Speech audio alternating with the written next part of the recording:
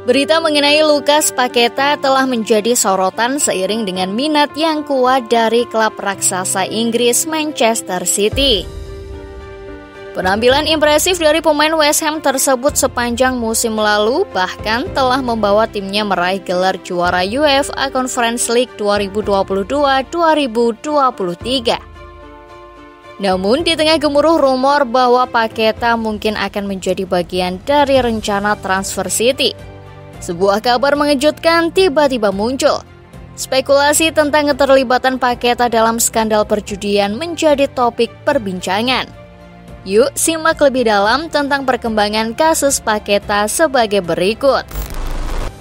Manchester City terkesan datangkan Lukas Paketa. Manchester City semakin memperlihatkan ketertarikan untuk mengamankan tanda tangan Lukas Paketa dari West Ham dalam bursa transfer musim panas 2023. Alasan dibalik ketertarikan ini adalah penampilan gemilang yang telah ditunjukkan oleh Lukas Paketa selama ia bermain untuk West Ham. Tercatat, Paketa mampu menghasilkan 5 gol dan memberikan 7 assist dari total 43 pertandingan yang ia mainkan bersama West Ham sepanjang musim 2022-2023. Pencapaian ini tentunya mengesankan, terutama mengingat bahwa Lukas Paketa baru saja bergabung dengan West Ham pada tanggal 29 Agustus 2022. Selain itu, gelandang berkebangsaan Brazil ini masih terbilang muda, yakni berusia 25 tahun. Sehingga potensi dan masa depan Paketa tampak sangat menjanjikan jika Manchester City berhasil merekrutnya. Menurut laporan dari sumber Vikayas, nampaknya Manchester City tidak berniat mundur dalam usahanya untuk mendapatkan Lukas Paketa pada jendela transfer bulan Agustus ini meskipun West Ham telah menolak tawaran sebelumnya. Ketertarikan yang mendalam dari Manchester City dalam merekrut Lucas Paketa di bursa transfer musim panas ini tidak terlepas dari satu faktor penting yang berperan dalam keputusan ini. Lucas Paketa mirip dengan Ilkay Gundogan. Manchester City telah menderita kehilangan pemain pentingnya dengan kepergian Ilkay Gondoan yang telah memutuskan untuk bergabung dengan Barcelona pada bursa transfer musim ini. Kehadiran Ilkay Gondoan sejatinya memiliki peran sentral dalam skuad Manchester City yang dipimpin oleh Pep Guardiola.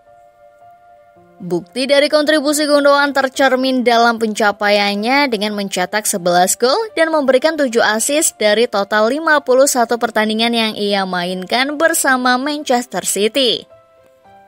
Lebih dari sekedar angka-angka, Gundogan adalah pilar yang mendasari keberhasilan Manchester City dalam meraih prestasi treble winner selama musim 2022-2023. Sebagai catatan penting, Ilkay Gundogan menjadi bagian kunci dalam perjalanan Manchester City meraih gelar juara Liga Champions, Liga Inggris, dan Piala FA pada musim tersebut. Dalam konteks ini, Manchester City secara alami menaruh minat pada Lukas Paketa untuk mengisi kekosongan yang ditinggalkan oleh Gundogan. Pemilihan Lukas Paketa tidak dilakukan tanpa pertimbangan yang matang. Hal ini disebabkan oleh kesamaan gaya permainan antara Lukas Paketa dengan apa yang pernah ditampilkan oleh Ilkay Gundogan. Terutama dalam aspek serangan. Lukas Paketa dikenal sering memberikan operan maju yang kreatif dan umpan-umpan kunci yang berujung pada gol. Tidak hanya itu, dalam sisi pertahanan, mantan pemain AC Milan tersebut juga memiliki kemampuan bertahan yang solid terutama dalam situasi duel satu lawan satu. Dengan demikian, potensi Lukas Paketa untuk mengisi celah yang ditinggalkan oleh Gondowan tampak begitu menjanjikan. Paketa tersandung kasus judi. Menurut informasi yang diambil dari laman BBC Sport, Lukas Paketa sedang menghadapi penyelidikan oleh otoritas sepak bola Inggris FA Football Association terkait dengan dugaan keterlibatannya dalam kasus perjudian. Akibat dari situasi ini, Paqueta telah dihapus dari daftar pemain tim nasional Brazil. Selain investigasi yang dilakukan oleh FA, Badan Sepak Bola Internasional FIFA juga sedang menyelidiki kasus ini.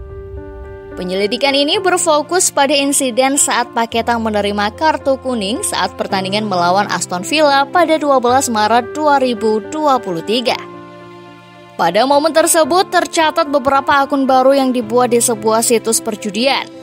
Akun-akun tersebut memiliki kaitan dengan individu yang memiliki hubungan dekat dengan Lukas Paketa. Hal yang mencolok adalah adanya taruhan dengan jumlah maksimal untuk dua peristiwa.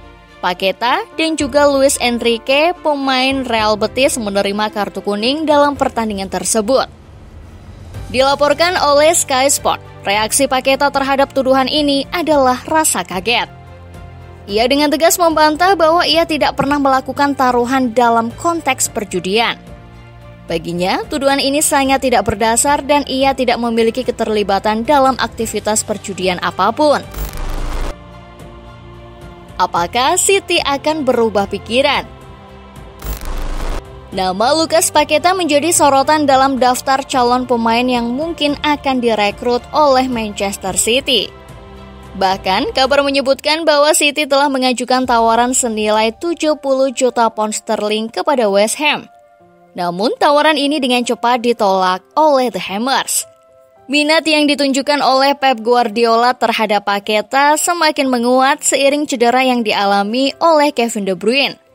Namun, laporan terbaru mengindikasikan bahwa Manchester City telah mengambil keputusan untuk menghentikan usaha mereka dalam merekrut pemain berusia 25 tahun tersebut.